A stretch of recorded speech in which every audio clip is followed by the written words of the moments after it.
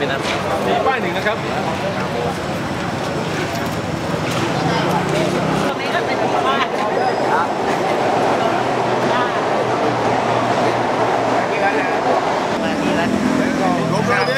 อย่าลงดิ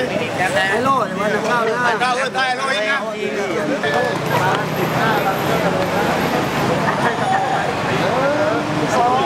มันปิดตัวเองบางบางคนอย่นที่ออก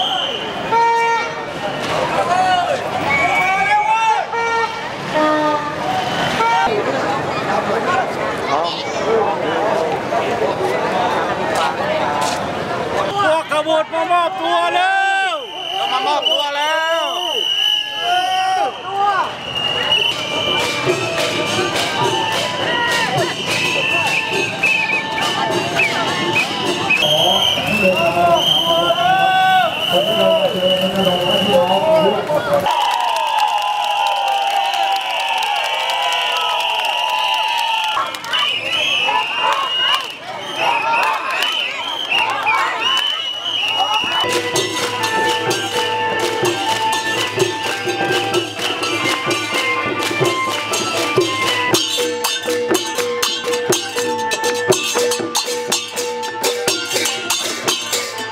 ส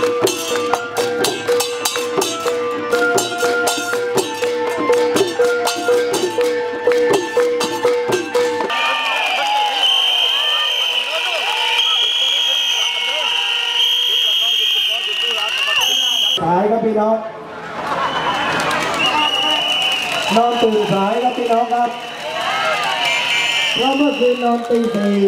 และตอนเช้าก็มีการนั่งคุย วางแผนปรึกษาหารือกับพี่พุทธิพงศ์แล้วก็